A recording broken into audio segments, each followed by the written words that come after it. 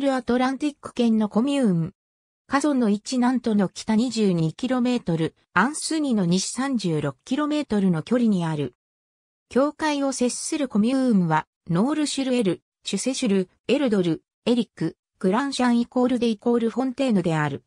1999年に INSEE がまとめた順位表によれば、カソンは都市圏に含まれる農村型コミューンである。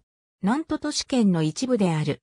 県の西部全体と同様に、カソンの地形の高低差はわずかで、町の標高は11メートルである。最も標高が高いのは、シャトー・デュ・プレシの公園で、標高46メートルである。標高が最も低いのは、エルドルガシで3メートルしかない。コミューンの地下地盤は主に花崗岩でできた山海である。カソンの名は多くを意味するシェンから来ている。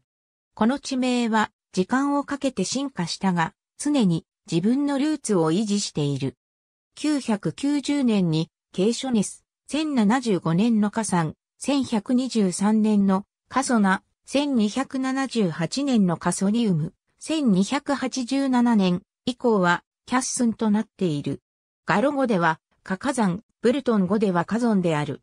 ソースイコール1999年まで、LDH、イヘス、カジニー、2004年以降 INSEE。